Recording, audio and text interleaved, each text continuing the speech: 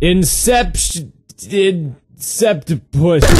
Okay, let me get this out of the way. Leonardo DiCaprio's. Bitch! There, I did the thing. Shut you the hell up about it. Okay, so you remember when this movie came out and you thought it was really clever and original? Well, that's because you're actually fucking dumb. I'm sorry you had to find out this way. Disclaimer, I'm not sorry and you're dumb. And I mean, okay, I get it, you were comparing it to shit like, you know, Transformers, and while Leonardo DiCaprio never dies and goes to robot heaven like Shia that Indian kid, it's still just as smelly and Indian. I'm sorry, that's just what happens when you cook on a wok. I didn't make the laws of physics. So let's get this dick rolling. Inception is a movie about people that have really fucking boring dreams. And then way too many characters go into said boring dreams and do stuff. Leonardo DiCaprio is the same character that he played in which came out earlier and was way fucking better. So they're in this Asian dude's dream, and then the Asian dude sees that they're trying to steal stuff from his dream, and then they get out of the dream. Then they throw the Asian dude on the carpet, and he starts rubbing his face up on it all gay, and he's like, and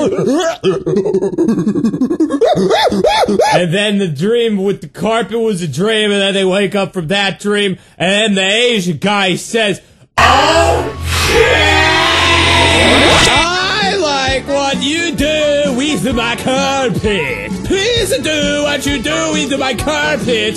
To Asian people, I give you money, you see family again. So he basically wants him to go into some guy's dream and put an idea in his head. It's called the title of the movie. So then it's time to explain things for fucking two hours. Leonardo's a clip clop has to get people to go into the dream with him because he's afraid of the dark or something. They need one person to make maps in the dream. They need another person to be bitches in the dream. They need another person to do something. What the fuck did Joseph Gordon-Levitt's character even do? They needed the Asian guy so he could go in and get shot like immediately. They need a guy that could make sedatives. Okay. So they can just pull a machine that lets you go into people's dreams out of their asses. That's fine. Invent tequila shooters chased with Tylenol PM and all of a sudden it requires in-depth explanation and a full-on character. Furthermore, if one of these characters is designing the dreams, why can't they do like two or three of these things and cut out a bunch of fucking useless characters? Also, this movie is very fucking keen on establishing the rules of Dream, which is dumb because when you're delving into something like the human psyche, you can do whatever the fuck you want. Way to put yourself in a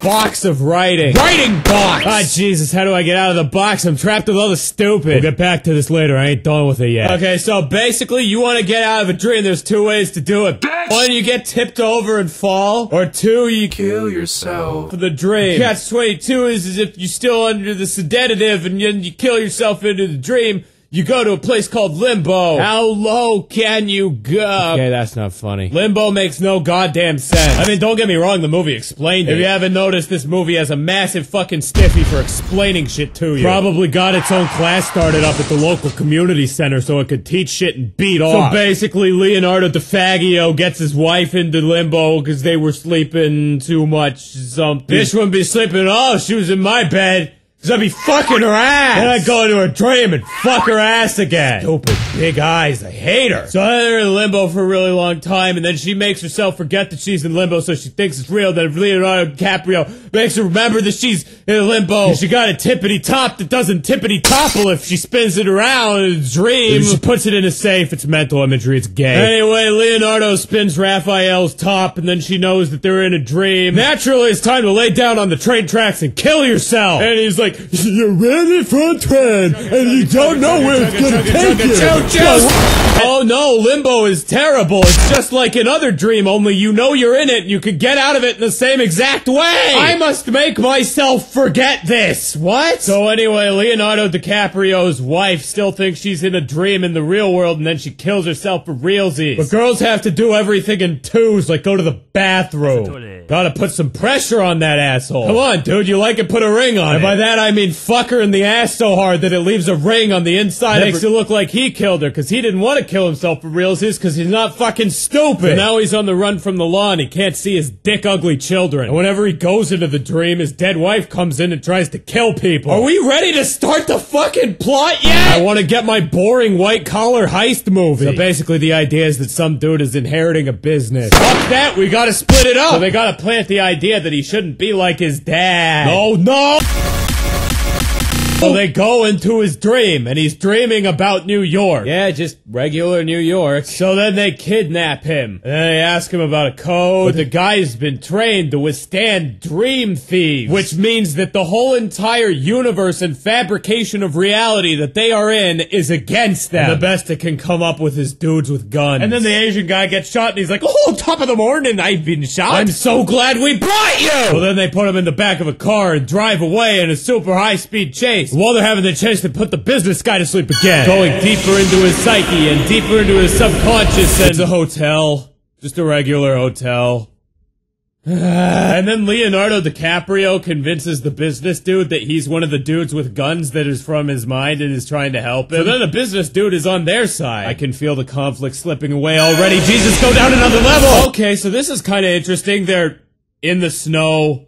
And there are dudes with guns in the snow. Wow, gloves really came off there. So business dude has to get into like the Russian base or whatever in the snow. Okay, time for the explosive climax. Ready? Keep in mind, each of these layers of dreams is in like slow motion compared to the next one. Guy goes off the bridge in the van. So in the hotel, it's got low gravity. So then the dude that doesn't do anything just fights a random dude, but with no gravity. Crazy, right? Then on the next level, there's gravity again. Then Leonardo DiCaprio's wife comes out with her fucking Glock. Oh, bam! Business guy goes down after he's done sucking the dick and gets shot. And the Asian motherfucker's like, oh my, I have been shot again, man. Fuck's sake! So then Leonardo sees his wife in the dream. Now he's got to go in to save the Asian guy so he can get him out of dying dream so he can save him. What the fuck happened here? Did Limbo just become another level of dreaming? Because that, that wasn't what it was originally. So they find his cunt wife and she's got the businessman, then they killed dead the businessman that gets out. And the business guy finds his dad in the coma and sucks his dick. Turns out planning subconscious ideas is wicked gay. Who knew? Leonardo still's gotta find the Asian guy so he can wake up for the dream so he can get money, get paid, sweat. Oh my god, who cares at this point? I mean, seriously, god damn it, like, you can make new kids. Preferably with someone that's not crazy. Or preferably with someone that's crazy but not ugly. That's why I said I'd fuck her in the ass, because I don't want her to get my genetics.